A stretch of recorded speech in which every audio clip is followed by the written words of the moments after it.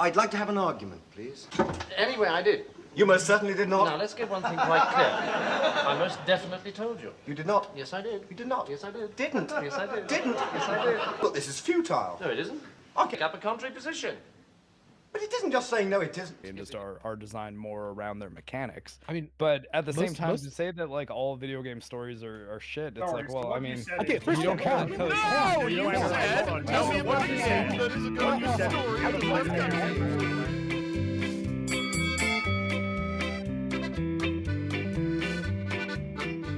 The climate for discussion within the last few years hasn't necessarily been the most inviting.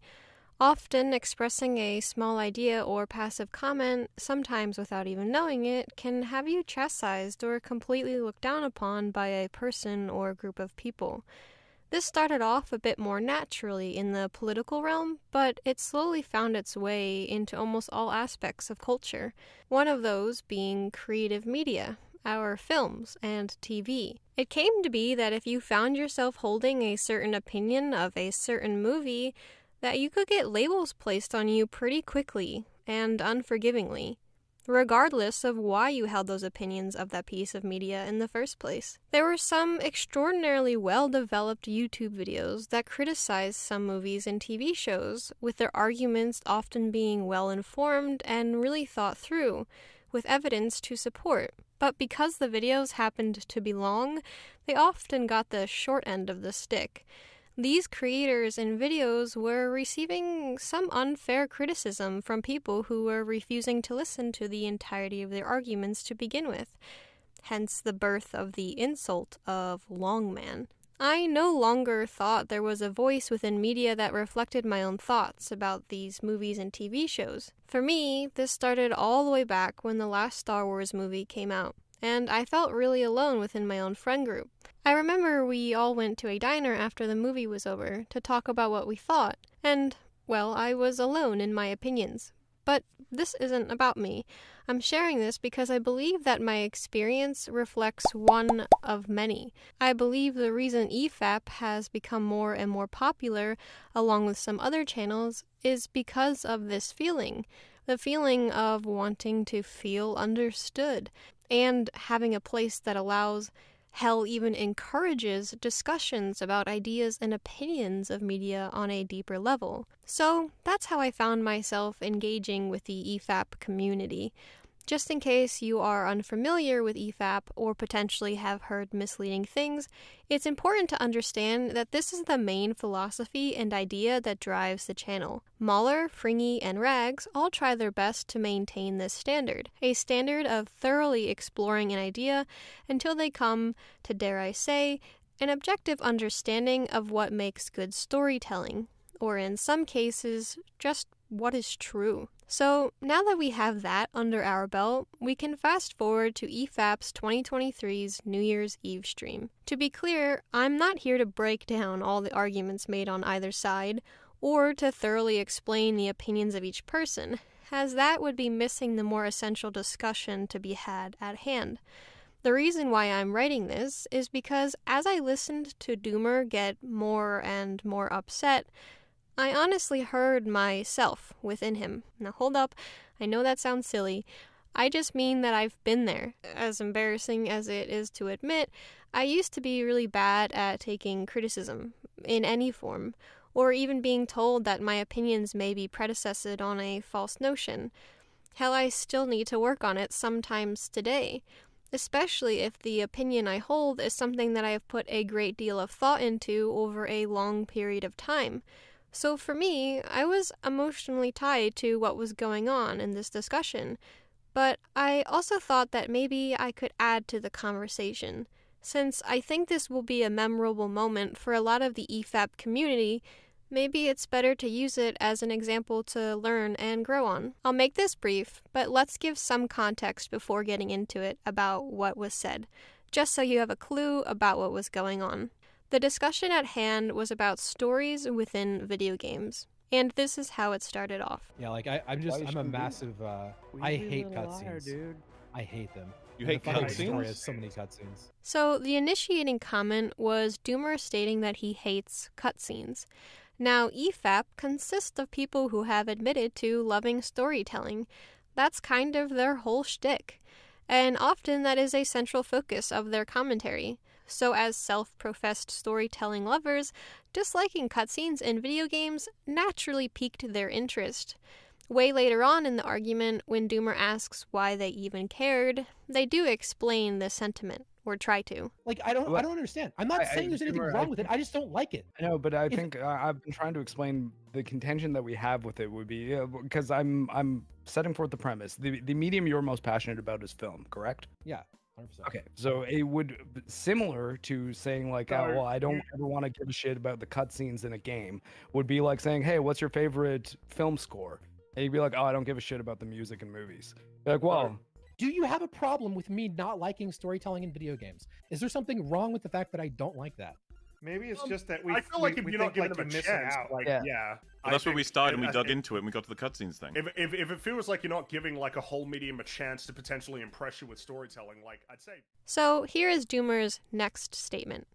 Yeah, like I, I'm just I'm a massive. Uh, I hate cutscenes. dude. I hate them. You And hate the fucking story cutscenes? has so many cutscenes. you, No, Well, I, I mean, cutscenes. I don't. I don't care about hold story on, in video games. I just Explain want to play. yourself. I don't care about stories in video games.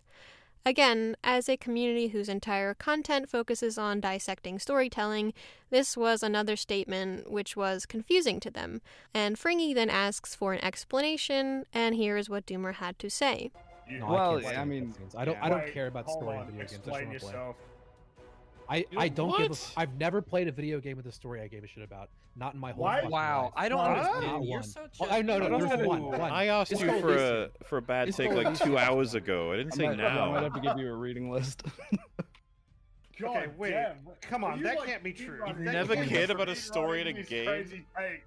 Crazy takes. Now, this statement is quite bold, especially since we find out later on that he has played video games for 30 years. I've been playing video games for 30 years. What are you talking about? Of experience. I've been playing video games for 30 fucking years. Having played video games for 30 fucking years. So, saying that in all that time there was never a game in which there was a story one cared about is quite a claim.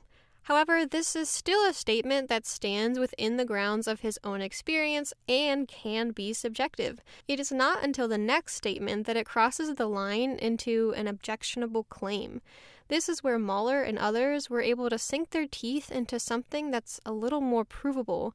And as lovers of storytelling and video games, they were quite passionate about this, as you probably can tell.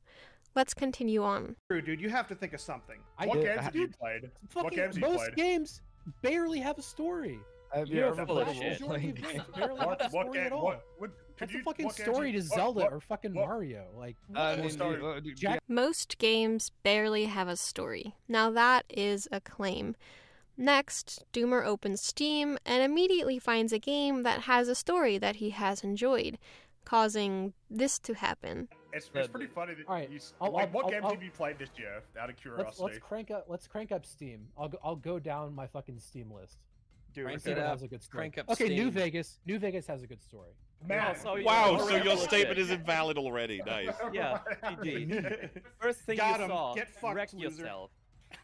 Well, That's not what's the first thing I saw. I'm, I'm gonna going say through like a hundred games. I see one. It so doesn't far. matter if you you just said that was a good one. You said there's no good story you ever played. For this next section of my video, I will be letting a large portion of the discussion play out. It has been edited down the most it can be while still maintaining its integrity, with enough remaining so that you can hopefully get a solid understanding. So buckle in, this part is a bit long. But again, instead of focusing on the exact arguments being made, focus on the tone and the emotional inflection on Doomer's responses as the discussion continues, for that is the main purpose of my video. So, so when, when I say that I don't give a fuck about stories in video games, what you're concerned with is the exact data point of zero games with good stories. You're not like No, didn't you just Fucking I- donkey. I If didn't there's if there's one, then that means there's there can be more. If you I pretty didn't you just say? I'm sorry, I need to find out. What did you say? Hold on. if but Well, if there's like- one, I then that I, can said be I more. hate, I hate cutscenes and I don't give a fuck about stories No, in video games. well, I just want to play the game. What Hold you said is on. you I never did not played a say video game with a everybody. stories are bad. I What you give a s- fuck what you so what Oh. you said is you've never played a single video game with a story you've given a shit about. What does Oh, that mean?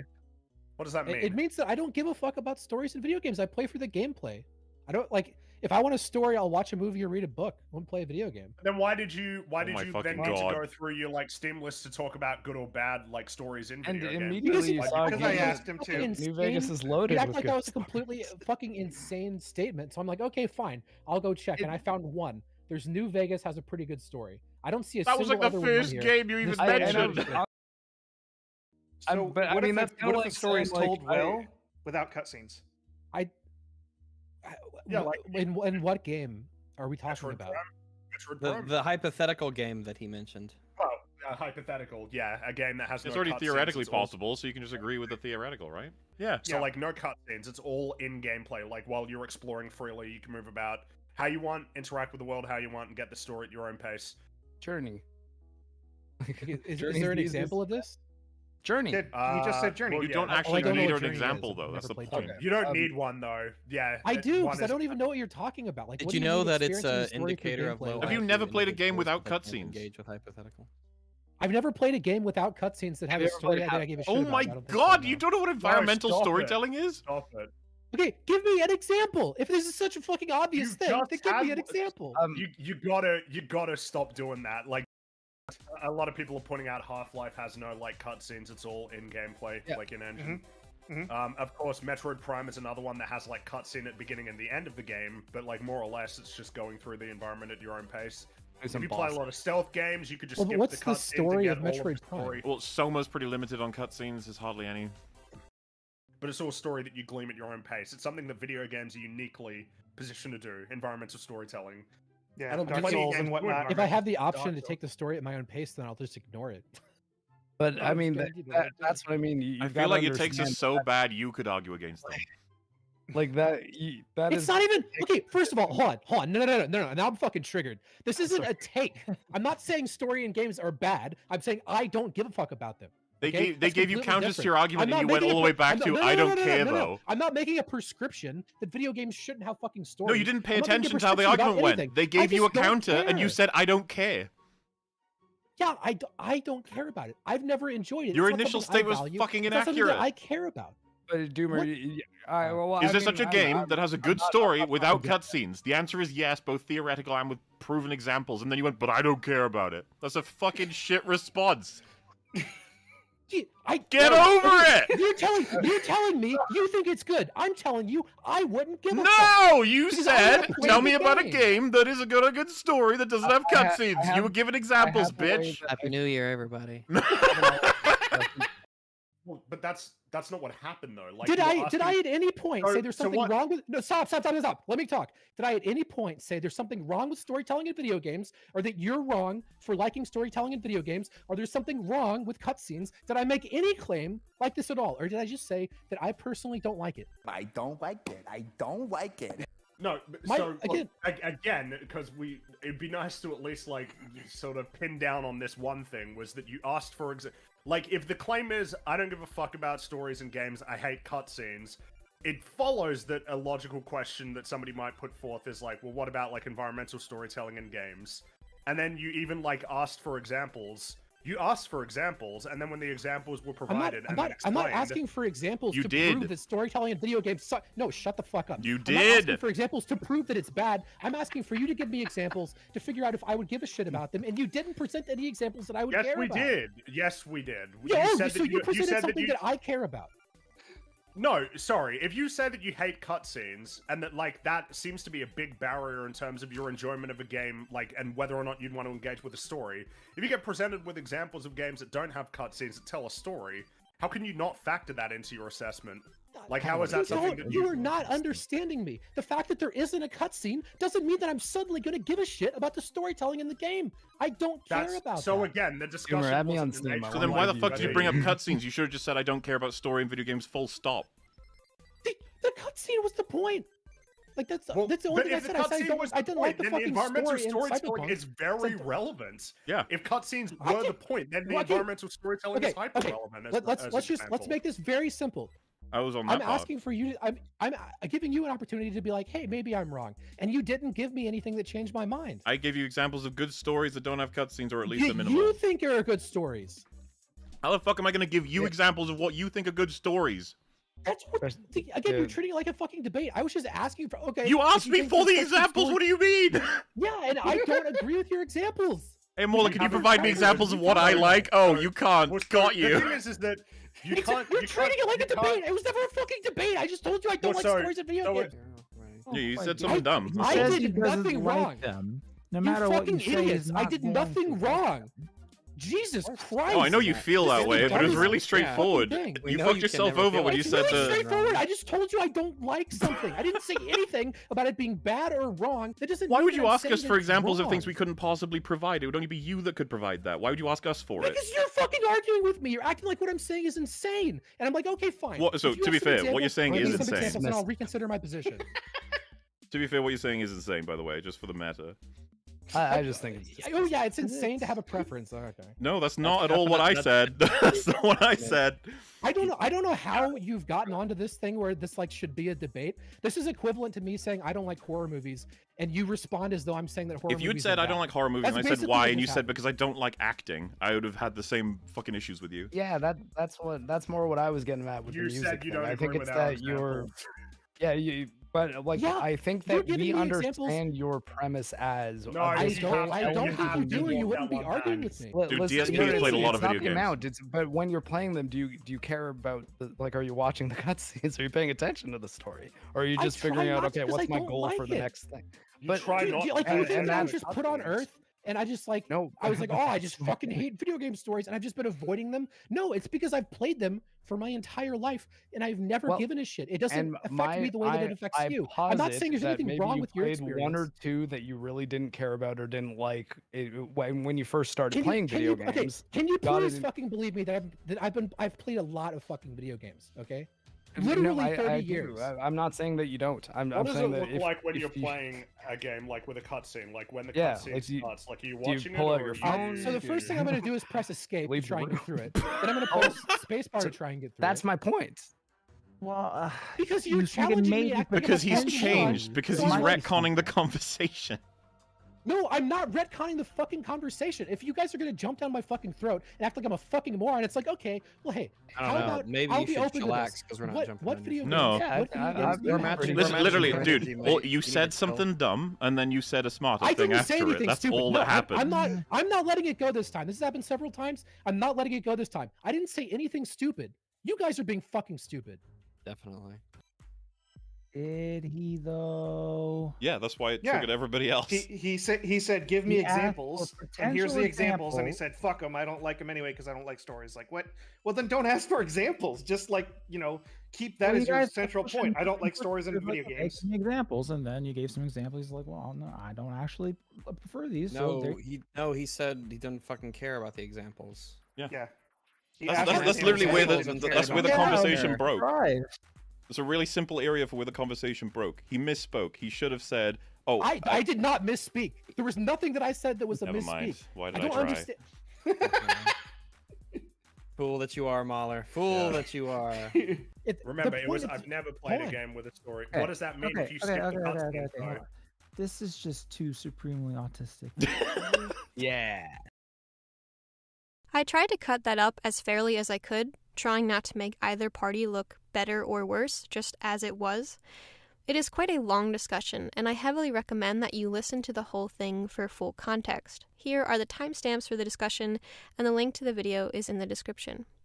Now, as you can probably tell, Doomer got more and more emotional and upset as the conversation went on. He got extraordinarily defensive, with his tone and voice rising. His use of swearing became more abundant and aggressive as it continued on. Are you trying to find some fucking quote that you can sit there and fucking stun lock on? And he also began to make it more personal. You guys are being fucking stupid. No you matter what you fucking say, idiots. I did nothing wrong. So- no, shut the fuck up. So, in summary, the main problem that was occurring was not the fact that they disagreed with his sentiment, even though that may be true. They were disagreeing with the way he was reframing the discussion and what had been said. Even Mauler makes this clear here. What yeah, does and that- then what we said, "Have you ever played a game with the good story without cutscenes?" And you said, "Give me an example," as if it's not possible. I, And then we that did. doesn't. That's Yep. okay. Again, you're That's the part that I'm stuck never on. I don't care about that I'm opening asking- foundation. So, Doomer was repeatedly trying to say that he had said something else, even causing Fringy to have to go back to double check what Doomer had said. again so again there were a couple of times when because i was legitimately struggling to like remember like exactly what had been said that i went back found out what it was causing a slight gaslit feeling. And at a certain point, it slowly transitioned away from this discussion about opinions on video game storytelling to a debate about something that was occurring on a subtextual level, at least in Doomer's perspective. Even Doomer hints at something going on a bit more underneath the scenes at a certain point. I didn't say after it. anything That's stupid. all no, that happened. I'm not. I'm not letting it go this time. This has happened several times. I'm not letting it go this time. I didn't say anything stupid. Now, you might be familiar with this feeling. When someone disagrees with an opinion you may have, the immediate urge or defensiveness that may arise from that. For example, you can be in the middle of an argument and maybe you realize you are wrong, but rather than stopping and admitting that mistake, it's too hard. It's more important that you stand your ground due to this defensive behavior. Actually, sometimes when this happens within arguments, it can even cause the person who suddenly realizes they've made a mistake to get even more aggressive. Not only is this common, but many psychologists believe this is to be a learned survival mechanism. To quote, psychological defensiveness is an evolved self protective response, and in some mild forms may have some benefits such as helping us to bounce back after failures and helping us to maintain optimism and self esteem. But defensiveness also has its costs, and I think we can often see those. So, why does this matter? Like, why am I making this video? This matters because being able to reflect and identify when this feeling may be happening to you, or even being able to recognize when this feeling is happening to someone else when in a disagreement, it can really help with communication and the strength of a relationship or friendship in general, especially when we want to try to have these broader scale discussions about really important topics, having the skill to be able to regulate this feeling and prevent it from keeping you from having an open mind is critical. Even some of the greatest philosophers, when having these grand debates in those really cool, fancy halls, would have this mantra they basically would open their debates with. And it was along the lines of, in more plain English, quote, Remember that we are attacking and tearing at your ideas to see if they can withstand. We are not attacking your person. We cannot get anywhere with our discussions if you continue to confuse the two. I think here several of the EFAP cast recognize that this is what was occurring within Doomer. Dude, M, you should be you should be the one that annihilates him the most. You know, you do a lot of gaming stuff. Absolutely. You yeah, could rip it but the, the thing is, is that even he knows that this is a stupid thing to say. And That's actually the most aggressive thing you've ever said. Also, Mauler was a little drunk, which may be why he was a little bit louder than usual. I Get no, over it! You're telling you're telling me you think it's good. I'm telling you I wouldn't give a fuck. No! But you can tell that Doomer almost felt like a hurt dog.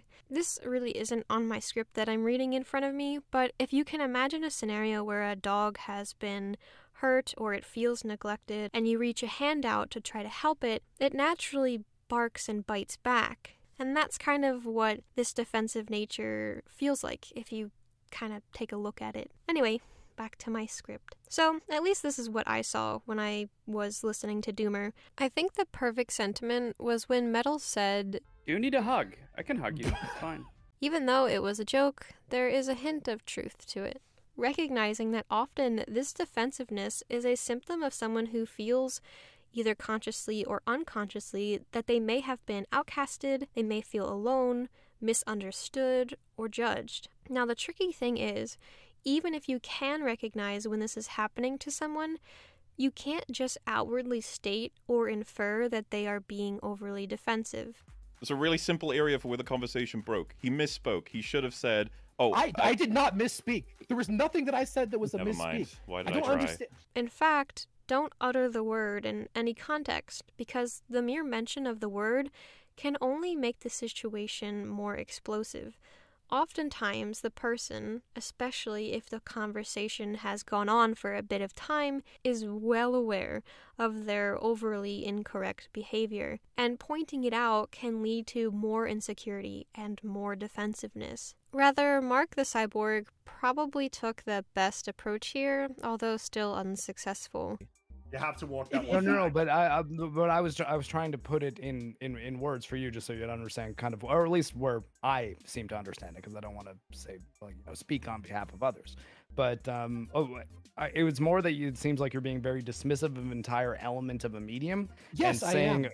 But I mean, do, do you not see that without a lot of, of I've been playing video games for 30 fucking years. But- I have okay. probably 30,000 hours in video games. What are you talking Okay. about? Need more experience? I've played so many know, fucking video let- games. How many more video games do I need to play? By speaking in a calm tone and trying to explain things by restating what Doomer had said so that he would feel heard and potentially understood before trying to respond or rebuttal. Unfortunately, here it did not work, but in most cases, this would be a good approach. Because most times, once a person exits a defensive episode like this, they will realize their error and either feel embarrassment, shame, or apologetic. But this is where the self defeating cycle can come into play. This embarrassment or shame may cause the person to continue this defensive behavior if they feel unsafe sharing that they have recognized their mistake. To continue protecting our ego, our sense of self,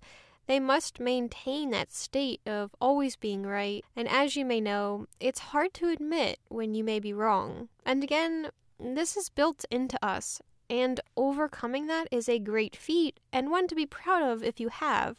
EFAP as a whole also recognizes how hard admitting one was wrong is. When they have had guests come on whose videos they were covering, they often commend them for having the courage to come on, and more importantly, the courage for admitting their mistakes, especially in front of such a large audience. Sure, and I'm glad you were able to let me on and stuff because um, Absolutely, it's very all good. few- Very few people do what you've done, and it has Yeah. always ended up being a positive for the people who do it. Uh, always, Um, uh, always good when people actually come on. It's always uh, Yeah, no, thank you um, for coming on. I appreciate it.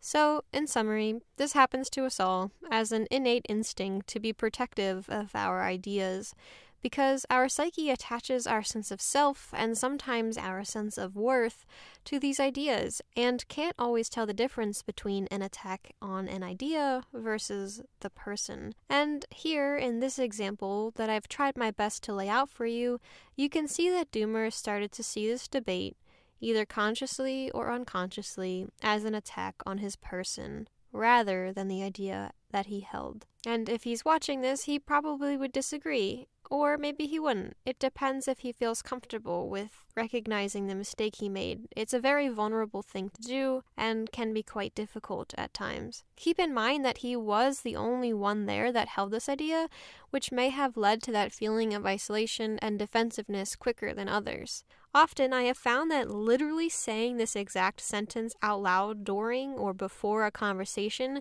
can help de escalate the energy. If you ever get a chance, give this a try and let me know how it works for you. For me, as someone who lives in constant existential dread, I potentially have had maybe a more thorough dissection of this problem than most, since the universe and death and the meaning of life and all that fun stuff is literally always on my mind.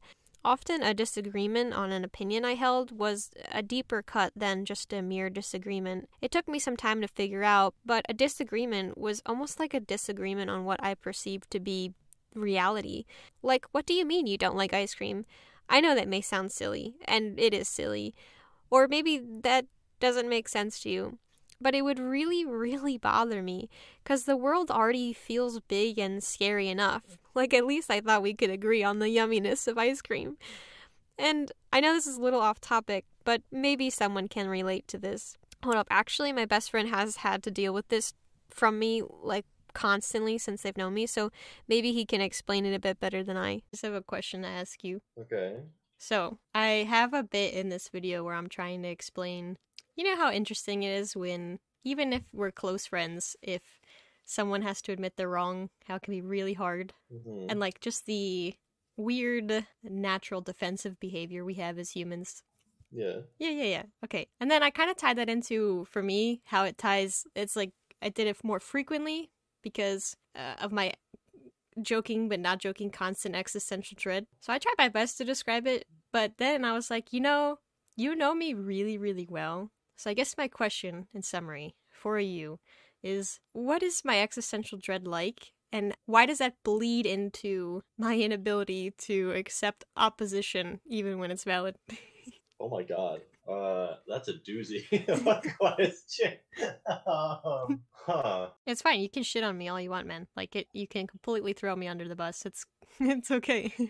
No, it's not that. My brain kind of feels like an old car trying to start in the cold. It's the thought won't. maybe I'll just tell you about my video and then maybe how I thought it tied into me a bit more. You know how I showed you that clip of Doomer getting pretty upset when they had a disagreement over storytelling in video games? Mhm. And then it kind of morphed into something more grand. It wasn't it became superheated, I think, for Doomer because he kind of took it personally, you know? Mhm. and got really defensive. And as a result of getting defensive, a lot of times people get aggressive. Some people shut down, but I think it's pretty natural to get aggressive. I talked about um like a, an injured dog, you know? Mhm. That's kind of what Doomer felt like to me.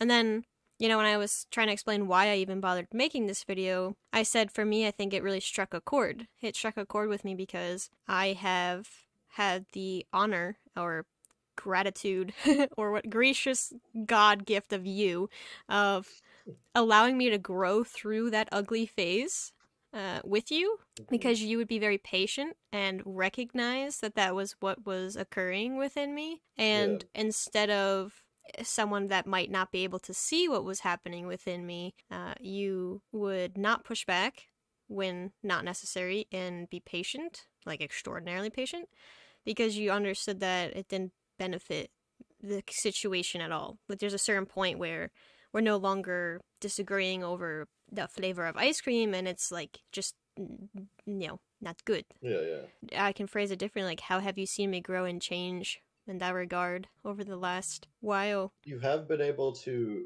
separate how when someone disagrees with an opinion of theirs or with an opinion of yours, it they're not attacking at you personally because you used to even if it's not even in like you know an aggressive tone or anything or however you want to put it you would act as if they just like screamed at you and tore your heart out because they don't like chocolate ice cream or something Well, listen, listen, listen. Well, first off, vanilla, but also Oh, like vanilla, sorry, yeah.